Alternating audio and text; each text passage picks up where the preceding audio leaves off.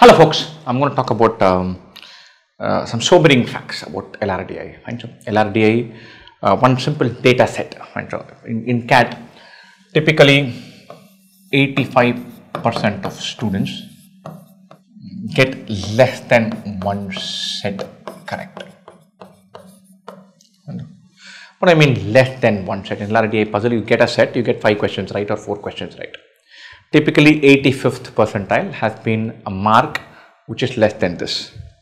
So 85% of the students spend 40 minutes inside the exam hall in that section and come off without having cracked even one puzzle out of the five or four that are presented.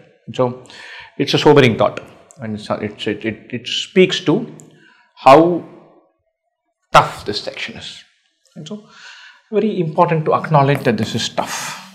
Right? I'm going to talk about the mental uh, stress that this puts because of that framework, because of um, uh, uh, this data this is scary. And so some of you who are very comfortable with LRDI probably don't have an idea of this, how, how scary this is. And so to give you a very simple phrase, I've been thinking about this for a, for a while. LRDI gives this fear in, in about 80% of students who are taking a mock and fear of zero. Fear of zero. What if I go in and I'm not able to solve even a single puzzle? Lots and lots of students have seen this in their mocks at least once or twice, probably more times, that they don't have the belief that ek set to ho jayega. And so, uh, the fear of zero is very real, very much present. And so, fear of zero is like um, it's very different from fear of uh, not scoring great. And so, and to give you a parallel, sometimes when you're um, just, just, I'm going to go, go wider here to give you an analogy. Sometimes when you're, uh, you're preparing for exams, some of you may be stellar students. You average on an average you get 90%. One exam you mess up, you're worried about 80. Sometimes you're worrying about 70 feel like ah, maybe maybe I'll just get 70 and embarrass myself. And so it's a scary thought that you're worried about it. But the guys who are worried about can I get 35 are, are living a whole different world. It's definitely scarier. So again, um, employees, they're working, they're worried about their hikes, their their bonuses, their incentive payments, their um, their their employee of the month certificates and, and their career paths. Guys sometimes are entrepreneurs. They're worrying about uh, paying bills giving salaries to their employees uh, figuring out rent all that right? So it's an order of magnitude tougher. Choices are starker right? Poor people uh, face these stark choices all the time and so so when when risk is high when there's a fear of very sharp failure when fear that you can flunk a course and spend one more year in the same class when you may when you may be asked to spend an extra semester in college not be able to finish it off then it messes with your decision making.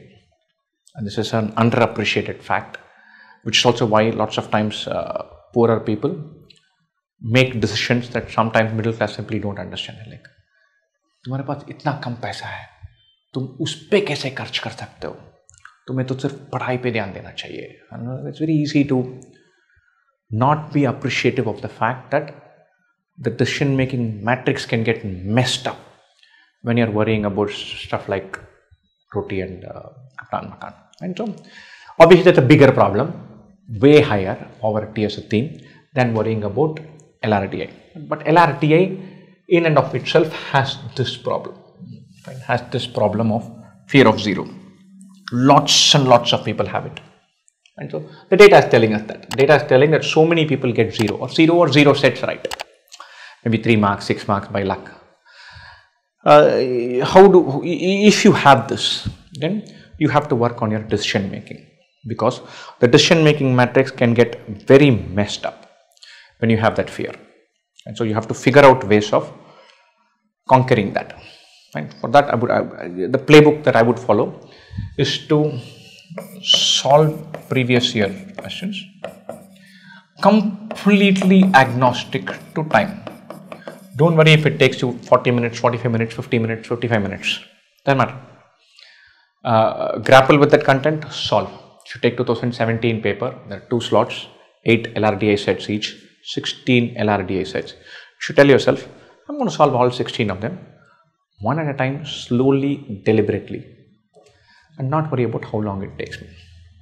You'll realize that if you're able to all solve all 16 of them, there's a good chance that at the end of that routine, if you take the do the same thing for 2018, you'll once again be able to solve 14 or 15 of them, not all 16, one or two or two, some are really cranky for each of us, most of them within 40 minutes, within one hour, whatever the time limit for, for that exam is.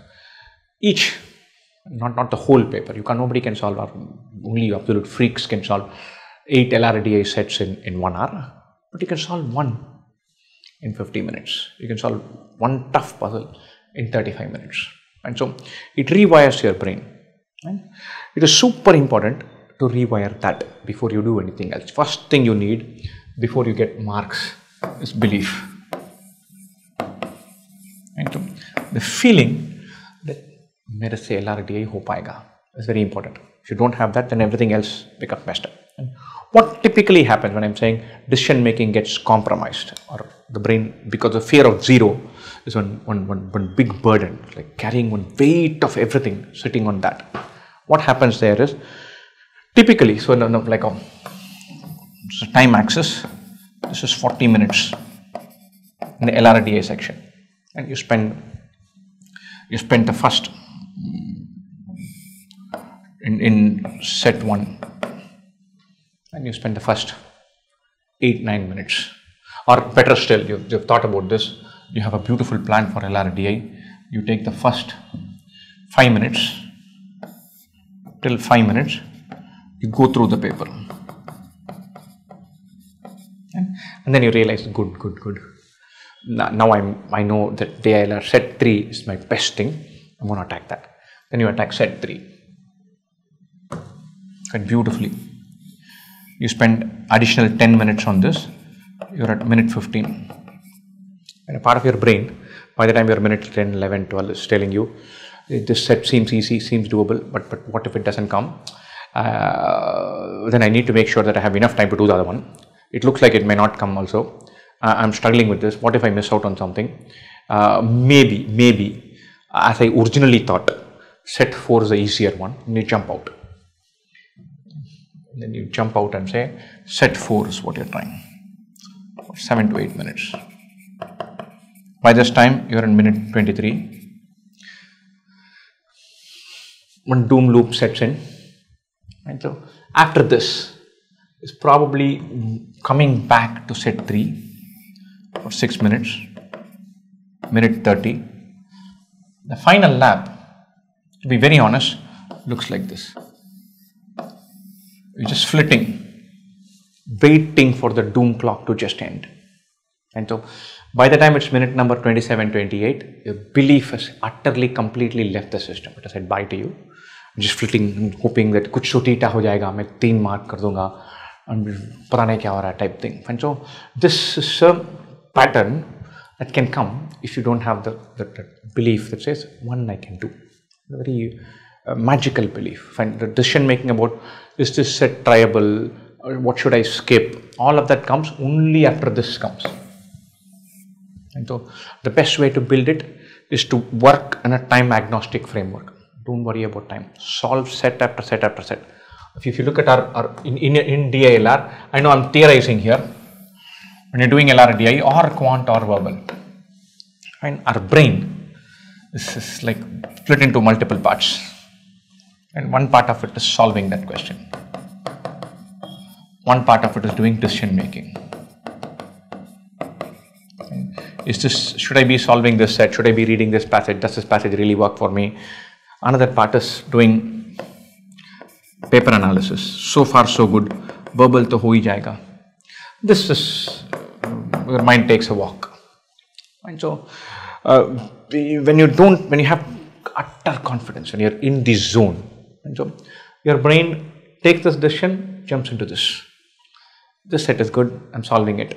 After taking the decision, your entire brain is in solving mode. You look at a question, you take a decision, you jump into solving mode. After four minutes, it doesn't work, then you dump it, you reset your brain, come back and take a decision, go into solving mode. When you're solving, you're only solving. But when you don't have belief, your brain just can oscillates between one and the other. And when it oscillates between one and the other, then all this comes. Should I be doing this set? Maybe I would have done that one better. Although I, I even then I thought that set 4 would have been simpler. Why did I choose set 3 now? All of that, uh, the, the, the anxiety part of the brain starts start playing jokes with us. So uh, you have to, LRDI set selection is extremely difficult, extremely difficult. You look at one thing and go, oh, this is nice and doable, and then you try it and then it doesn't fall in place. It's not easy for anybody. And so, so sometimes we have to plan for the idea that our decisions could be wrong rather than saying I'll get all these decisions right. हो ही no, nobody can get all the decision making part correct in LRDI. You're, you're scanning at a question. Do you feel like a mere zone mein hai? Maybe you really like questions which are prime numbers and this, but that one was too difficult. It's in your sweet spot, but it's too difficult. And the, the, the so the, you, have to, you have to learn the skill of saying, nahi, nahi chahiye. I'll come back to that. But all of those decision making get better and better and better and better only if you have a layer of belief in the system. And how do I build this belief? How do I or how do I first of all combat this? And so solve previous year questions. Start from 2017, 18, 19, then go to 2021 do not solve them as sectionals, do not solve them as timed set, do not solve them as part of mocks. Especially particularly if you have this. Solve one set at a time. Build resilience to hang in there. You do 15 18 20 sets. I guarantee you that you'll reach a point where if the set looks kind of doable to you you can sit there and finish it in 30 minutes once you get that confidence then all these other things start making sense because now you know you look at a set it seems doable you can park yourself there, sit yourself there, get it right in 25 minutes that you're not getting zero in this paper. Once that happens, then now your part of the brain says, look, this is there. I don't think I'll get zero. Now I'll attack this, remove zero out of the equation. And if I get lucky, I'm out of zero in 22 minutes. And then your brain your decision making your ability to take calls take chances look at theta questions and gamble look take fill one thing and, and, and just go berserk. All of that improves. Chances are you're looking at one and a half sets two sets just like that. Because this is gone. And so lots of times that fear of zero continues to be there because we are grappling with decision making variables while we need to be doing the solving part and you're flicking from one to the other all the time and the DILR is a bit tough. If one big part of your brain is continuously saying, should you be doing this set? It becomes tougher. This is also why LRDI set seems super easy after the exam is over. Not super easy, but very doable after the exam is over. Because after the exam is over, you're not taking the decision of whether to do that or not. You're only solving an LRDI set. And so, to, to build that belief, to build that confidence, to be in only solving mode, you need to knock off question after question after question, one LRDI set at a time, no time pressure, build resilience, build rigor, check solution to see improvements where, where they can happen, then go to the next one. Too soon, too frequently, too aggressively, students shift to decision making mode. Should I be doing this question? Gets answered, gets asked very early in the preparation cycle, especially for this. So you're continuously evaluating that in the exam hall. So you're doing this all the time. And, and that becomes really messed up. I have done this, it's not good for me. Uh, it has not been good for me. It, it, I've heard so many students when they when they analyze their preparation or when um, kind of articulate that this happens very frequently uh, uh, to them. So work on it. This is a crackable section, and if you remove this, the fear of getting zero, uh, belief will come. And once belief comes this becomes a whole separate game. You start feeling that ho jayega. And, and, and that, that that confidence that belief is super important. And so i i know i've been talking lrdi stuff from a, uh, almost like pop psychology, uh, thing about fear of zero, and need to have belief and all of that. Uh, but but uh, I, I have thought long and hard about it. I've spoken to a lot of students. I feel that this thing is very real.